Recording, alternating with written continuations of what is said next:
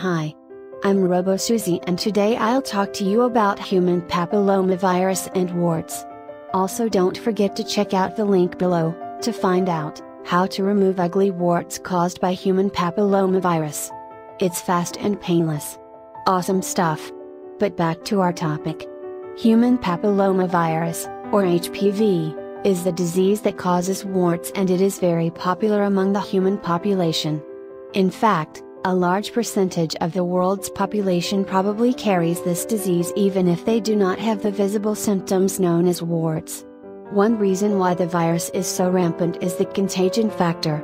Warts are highly contagious due to the fact that HPV lives in the outer layer of the human skin cells. Warts can spread from person to person or from body part to body part by way of skin to skin contact. It is good to understand how to stop warts from spreading. For instance, do not touch warts on your body or someone else's body and then touch another part of your body. Be sure to wear sandals in public showers and pool areas if you want to avoid spreading or catching plantar warts. These are warts that show up on the bottom of the feet and can be very painful. Also, do not allow others to come in contact with warts that you may have through either casual or sexual contact. Something as simple as a handshake can spread warts. The disease also spreads so quickly due to the fact that there are so many different kinds. Each different type of wart is caused by a different strain of the disease. There are well over 100 different strains of the disease and warts range in seriousness from the everyday common warts, usually found on the hands and fingers, to the more serious genital warts, which can be found on any part of the body used for sexual activity.